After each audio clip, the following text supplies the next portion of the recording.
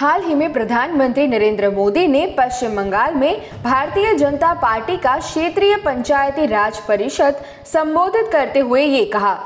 बेहतर स्वास्थ्य सुविधाओं के लिए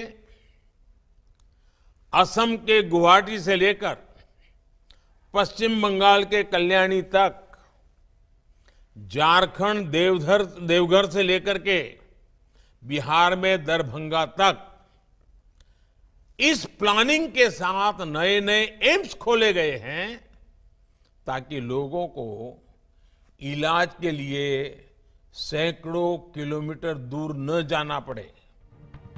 हालाँकि देश के प्रधानमंत्री द्वारा सार्वजनिक मंच से किए गए इस दावे की असलियत क्या है, आइए हम आपको बताते हैं।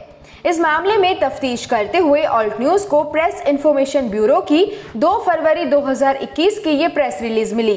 राज्यसभा में एक सवाल का जवाब देते हुए स्वास्थ्य एवं परिवार कल्याण मंत्रालय के राज्य मंत्री अश्विनी कुमार चौबे ने बताया था कि प्रधानमंत्री स्वास्थ्य सुरक्षा योजना के तहत नए 22 एम्स की स्थापना को मंजूरी दी गई है।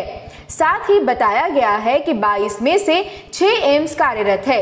वहीं 16 एम्स का काम चल रहा है। इसमें बिहार के दरभंगा में एम्स की स्वीकृति की तारीख 15 सितंबर 2020 दी गई है।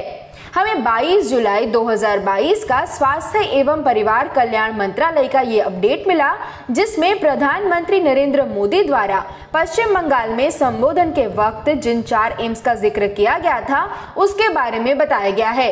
इसमें साफ़ कहा गया है कि दरभंगा एम्स के लिए अतिक्रमण मुक्त ज़मीन उपलब्ध नहीं कराई गई है और न ही कोई फंड रिलीज़ किया गया है। प्रधानमंत्री स्वास्थ्य सुरक्षा योजना की वेबसाइट पर भी दरभंगा एम्स का स्टेटस यही दिया गया है।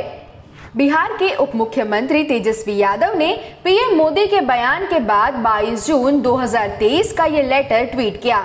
इसके मुताबिक बिहार सरकार ने दरभंगा में एम्स की स्थापना के लिए ज़मीन का सुझाव दिया था, लेकिन केंद्र सरकार ने इसके लिए मंजूरी नहीं दी। गौर करें कि केंद्र सरकार ने 22 जून 2023 तक दरभंगा एम्स के लिए ज़मीन की स्वीकृति नहीं दी थी। इस ट्वीट का जवाब देते हुए केंद्रीय स्वास्थ्य मंत्री मनसुख मांडविया ने 26 मई 2023 का ये लेटर ट्वीट किया। इसके अनुसार, मंत्रालय की टीम ने बिहार सरकार द्वारा एम्स दरभंगा के लिए प्रस्तावित ज़मीन का दौरा किया था और उन्होंने पाया कि ये ज़मीन एम्स की स्थापना के लिए ठीक नहीं है।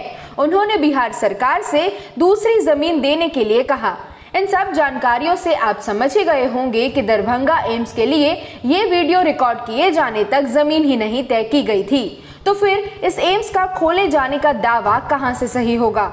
इसलिए प्रधानमंत्री नरेंद्र मोदी ने पश्चिम बंगाल में भारतीय जनता पार्टी का क्षेत्रीय पंचायती राज परिषद संबोधित करते हुए झूठा दावा किया था कि दरभंगा एम्स खुल चुकी है।